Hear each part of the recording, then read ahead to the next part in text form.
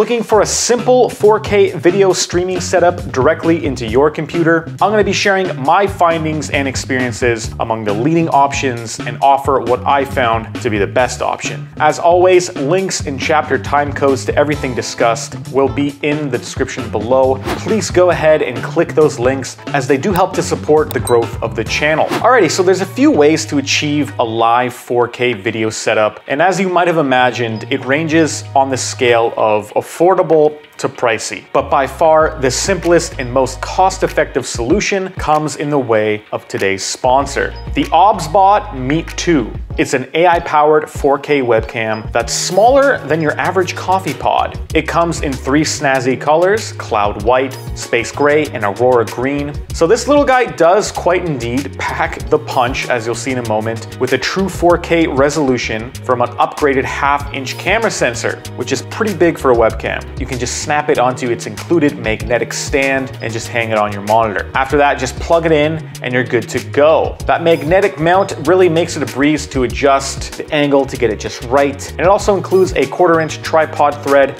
to mount and use like you would any other camera. It's also got a little magnetic privacy cover, which is a super nice little touch to keep the lens protected when it's not in use. So for comparison, I've gone ahead and mounted the Meet 2 on top of my Pro camera. So I was actually super impressed with the OBSBot app, which allows you to basically tweak and control the camera and use all the cool features. And I highly recommend you go ahead and you download that. It's called the OBSBot Center app. And I can see being pretty useful taking advantage of that 4K resolution. The OBSBot Center app also comes with these sort of auto framing modes or check it out, if we turn it on, and we click close up, it's gonna basically frame me. It's gonna use that resolution it has, and it's gonna always frame me up in the center. So even if I were to get out of my chair and walk away, you can see how it kind of follows me around. How far is it gonna go? Has a lot of resolution. And if I come in, it just sort of knows what to do.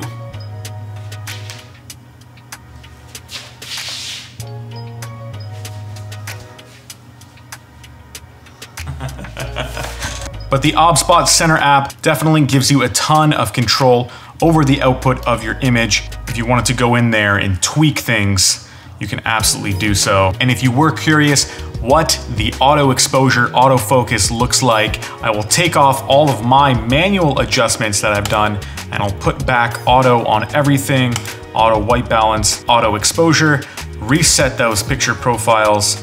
So this is what the camera would do sort of out of the box under these lighting conditions versus what we saw before, which was me manually tweaking the exposure and the settings. At 129 bucks at the recording of this video, it's quite the package. Links are in the description if you want to grab one for yourself. This is going to make a perfect addition to my personal streaming setup as a B cam or additional camera. So the Pro Up version would be using a dedicated 4K camera, such as I have on my desk setup, and then taking the HDMI output from the camera, running it into the computer with an HDMI capture card. So in terms terms of 4K capture cards, there's a few options out there to achieve what we're trying to do by getting our 4K camera signal into our computer. So the first option and most expensive is the Rode Streamer X. The second option is called the MyPin Capture. And the last option is the Elgato 4K Camera Link. So personally, my first instinct was to go with the Rode Streamer X. Given Rode is a trusted name brand, it had that HDMI pass through, which basically means you can send that HDMI signal into the computer but it also has an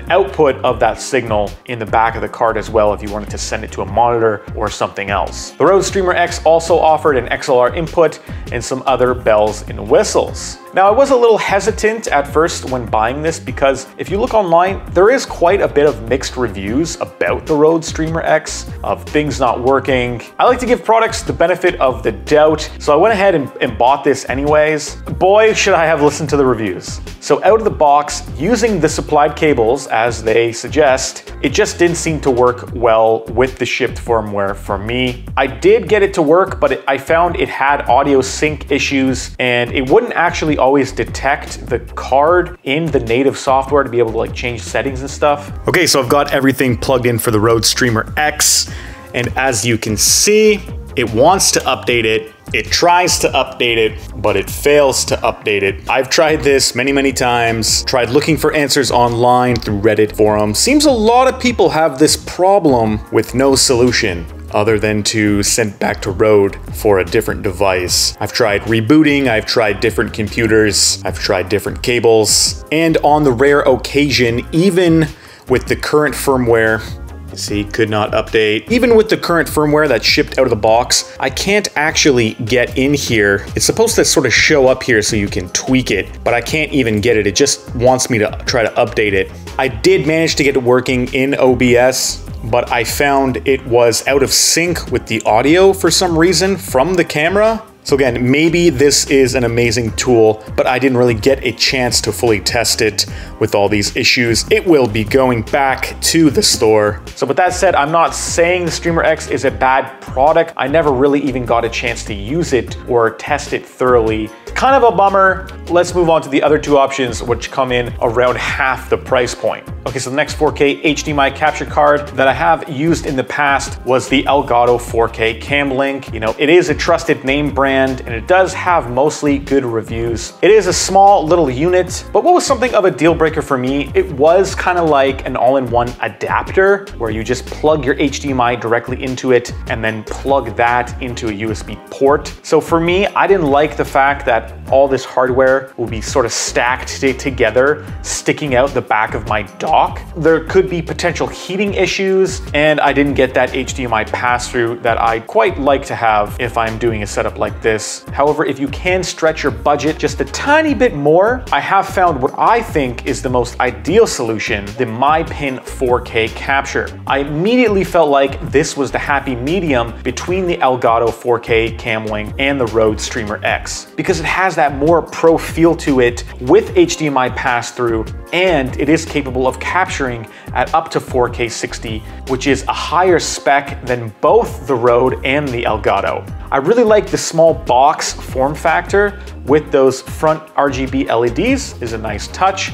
In my mind, this will allow heat to disperse better and as well allows for better cable management, allowing the device to sit on my desk, running in and out in a nice and organized way, instead of being like a clunky adapter like the Elgato would have been. Okay, so this is the final setup now. Added in a USB-C 10 gigabit hub for all the peripherals and we could see the MyPin 4K capture card in the back there. I actually quite like when it is intaking the feed, how it does kind of light up like that. It's probably got a higher quality internal 4K capture given this higher spec. This opens the doors if you want to capture 4K gameplay at 60 frames per second, and it's got more space to disperse that heat. So for those reasons, this is what I've chosen to go with for my 4K streaming solution. So that's what I'm working with now for my main pro camera in combination with the OBSBot Meet 2, which is an excellent all-in-one 4K solution if you don't have the budget for sort of a more pro setup and you want something to start out. All right, so the next thing I just wanna quickly reach on if you do have one of these 4K Pro setups and you are looking to use it for either live streaming or video conferencing of some sort is something called digital signal processing. If you are using a 4K capture card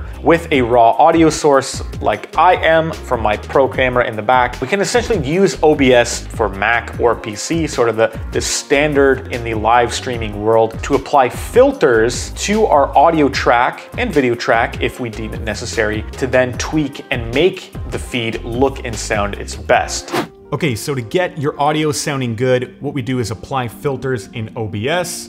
You have your audio source here. I would click it, hit filters, and let's just maximize this window here. So you'll see our mic is currently hitting uh, around negative 15 dB. And the first thing we're gonna do is we're gonna add a gain filter. And that's gonna allow us to basically amplify our microphone and get it much louder. So I'm gonna set that to about 10 dB. So now you can see where you want it landing is about negative five. The second filter we're gonna put on here to make it sound better is a noise suppression filter. By default, this one's pretty good, but if you really wanna fine tune it, you can select the Speex noise filter, which actually lets you select how much noise suppression. As I'm writing this slider here, you can sort of hear it doing its thing.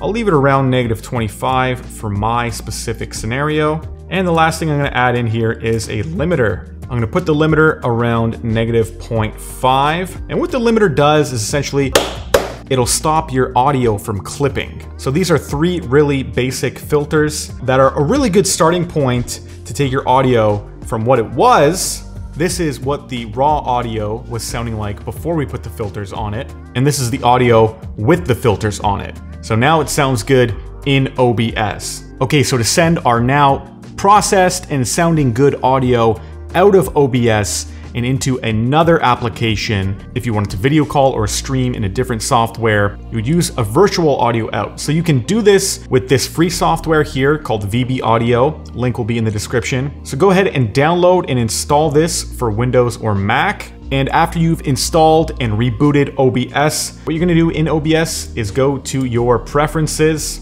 under the settings, you're gonna select audio, and under advanced here, you're gonna select the monitoring device to VB cable. Now this is what we just installed. This is our virtual audio out. So we're gonna select that. Now we have to tell our processed audio mic here, where all the filters are, to go through that virtual cable. So to do that, we're gonna make sure processed mic demo is set to monitor and output.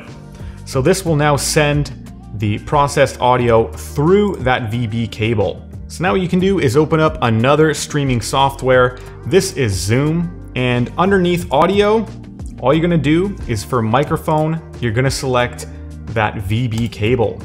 So now it's feeding the audio from OBS into Zoom. Now you can do this with any video conferencing software you're using, Google Meets, Teams, FaceTime. It's really cool. Now you're gonna have that clean and clear processed audio for your camera. Select your capture device or your webcam. You can do this with the OBSBot webcam as well. If you wanted to also apply filters to your video stream, you can do the same thing. You can hit start virtual camera. And similarly, when you go back into the settings, let's say of Zoom, what you would select is the OBS virtual camera.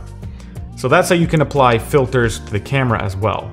All right, so there you have it, my newly upgraded streaming setup with both a pro option as well as that all-in-one affordable option if you don't have the budget to spend. If you're curious to see some of my other desk setup items, I urge you to check out one of my videos where we tour my desk or give a tour of the studio itself. This is the Future Space Collective, where we explore the world of products for imagination.